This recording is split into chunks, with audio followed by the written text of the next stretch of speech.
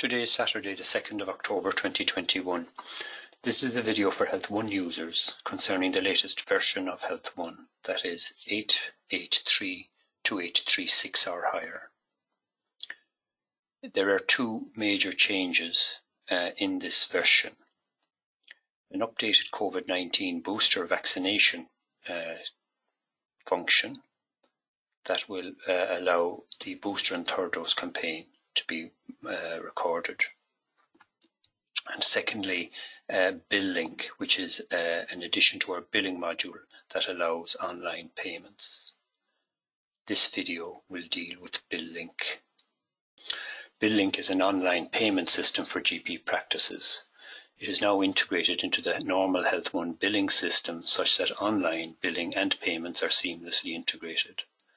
You have to have version uh, 8.8 0.32836 or higher for this to work. Uh, you also need the latest version of the normal Health One billing. This was actually uh, introduced in about 2012, but you do need to have that.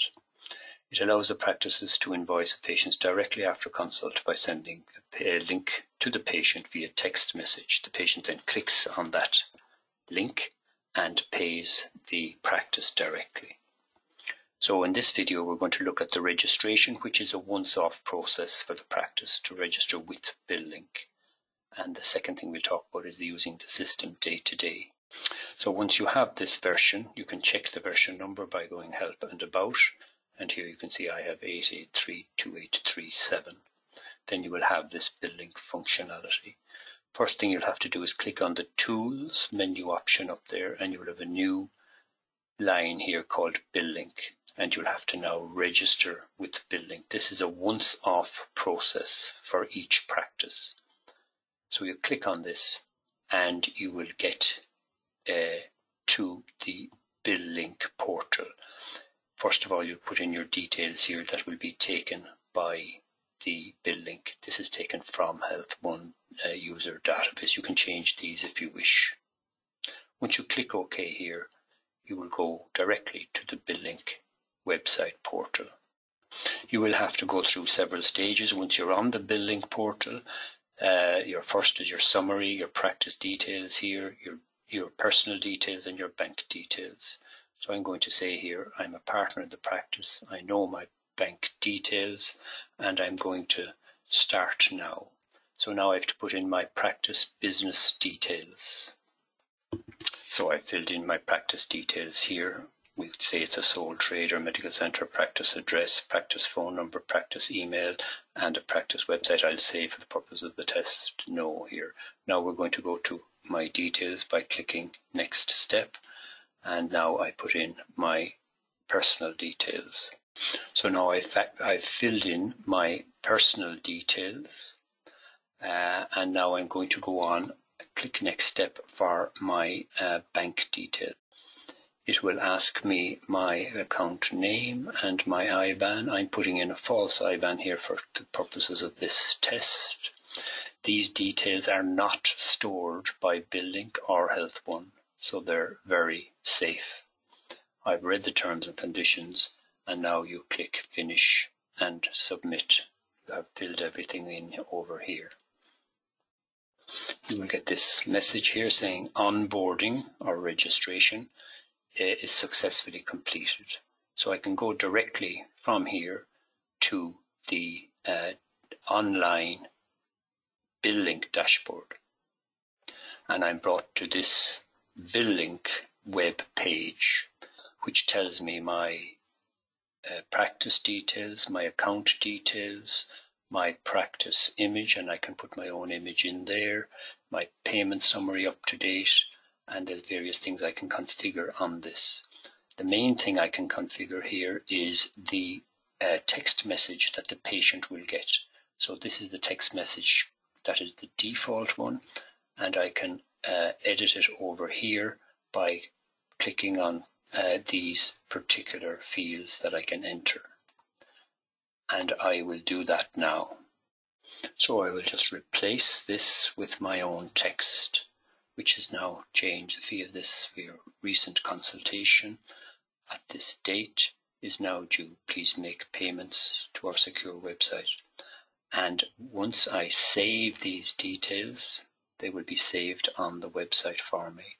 I can also, for example, simply drop my practice uh, image into the here and save that as well. So this is the thing that the patient will see when he gets his text message on his phone. Once I have configured the Billink details here on the Billink portal, I can leave the website and I can go back into Health One. This is a, a, a picture of the text message the patient will get on his phone. Now I'm back in Health One, and if you look at Tools and Billink again, you will see that there will be more than one option there. In fact, the options will look like this. You'll have the ability now to go to your portal to various transactions and payments pages on the portal. So if I just click on the portal here, I'll get back to exactly where I was so that at any time in the future from Health One, I can directly go to my Billink portal and edit the details.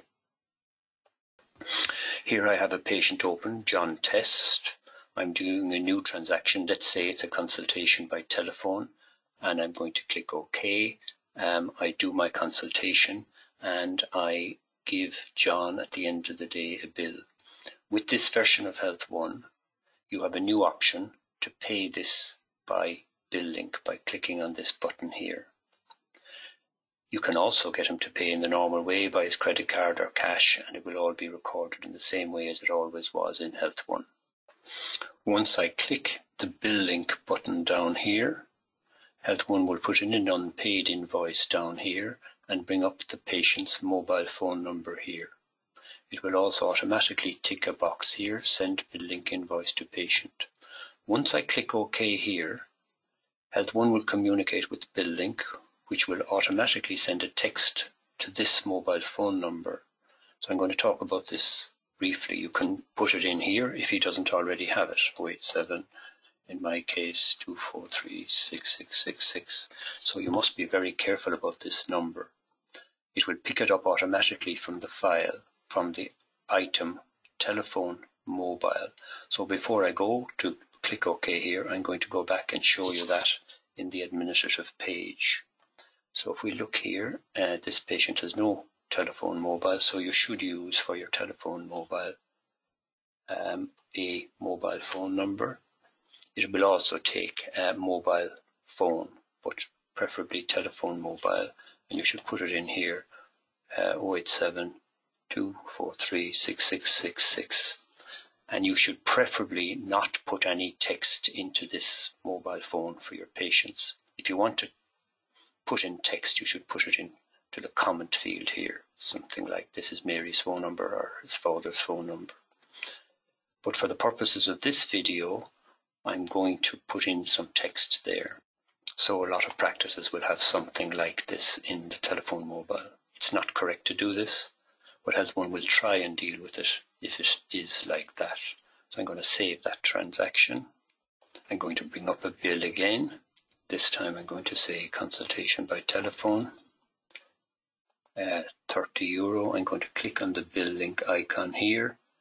And as you can see, it, it fixes the text, but that doesn't mean you should put text in there, you shouldn't. So once I click OK here, the patient is going to get immediately a text uh, to pay the 30 euro. So I click OK, and it'll take a second or two for Health One to tell me, and you have an invoice down the bottom right successfully sent through Billink. And if you listen to my phone, you'll hear uh, within 10 or 15 seconds normally, and that's it. Me receiving a phone message uh, for my bill. The doctor or nurse in the meantime continues and doesn't worry about it because all this, uh, the rest of it will happen automatically between the patient and Billink. So this is the type of text message that the patient will get here. Uh, the patient will put in his card number, his email address, agree to the terms and condition, and pay the 30 euro. That 30 euro will then be paid through Billink and then paid into the practice account on a weekly basis. At the end of the day now the practice might want to look at its accounts and it goes into the normal billing uh, dashboard here in Health One which is up on the top uh, which all practices normally do and you will see here all of your payments for today. I can go to yesterday and just see what payments we had yesterday as well, for example, and you'll get all the normal payments, credit card, and we have uh, some paid online. So these are the two for today, uh, which were paid online. And you will see that uh, one of them was paid and the other one hasn't been paid yet, which is the one we've just done.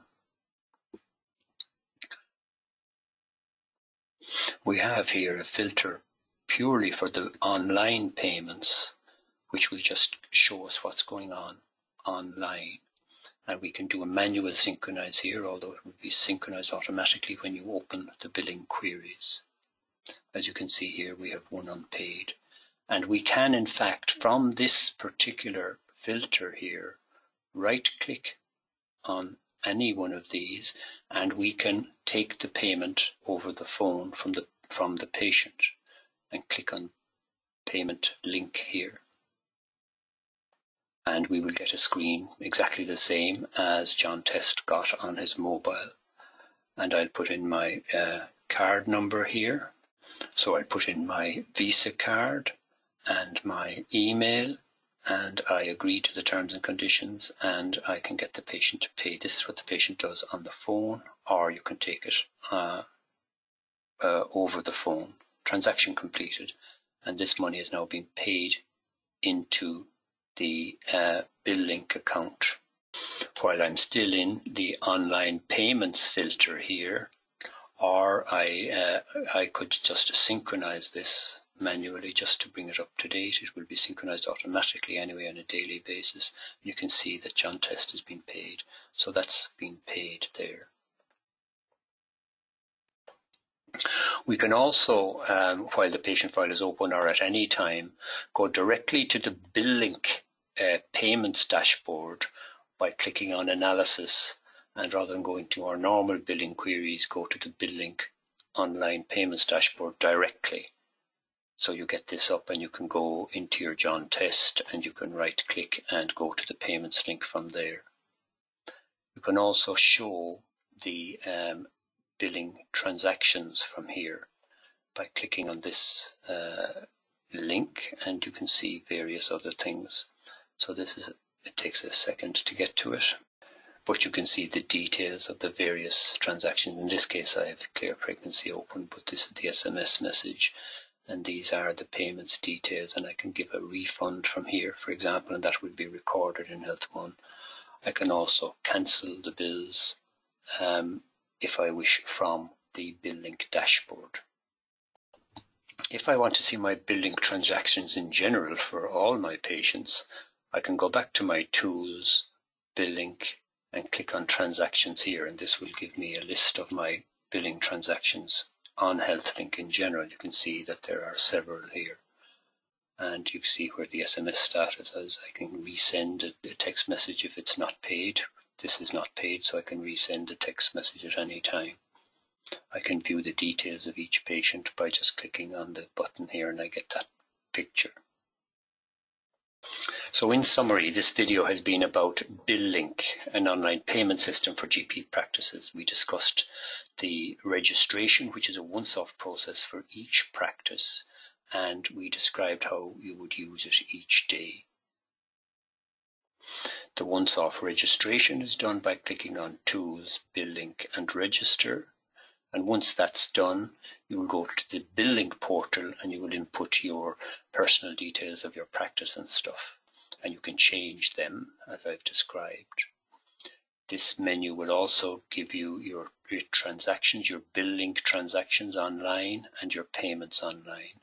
But in Health One, you will do your bills as normal by opening the patient file, giving him a bill, clicking on the billing button, and you carry on and do nothing else. The Billink system then contacts the patient and the patient pays Billink. We should also discuss how much this is costing the practice, and this is very upfront by Billink from the start. So there's a charge of 3.25% of the fee charged to the patient. Fees up to 20 euro have a flat charge of 89 cents. There's an SMS fee of 8 cent per SMS. So uh, we've done a little spreadsheet here of the possible uh, costs. So for a 50 euro fee, it'll cost the practice 171 for a 100 euro fee 333 for 60 euro fee it'll cost the practice 203 including the SMS and the uh, charges for the transaction itself. The uh, money is paid from the Billink, uh, which is a Stripe account, into the practice account on a weekly basis or more often if it's a very busy practice can be discussed with Billink. And that is the end of uh, this recording for Health One users. Thank you.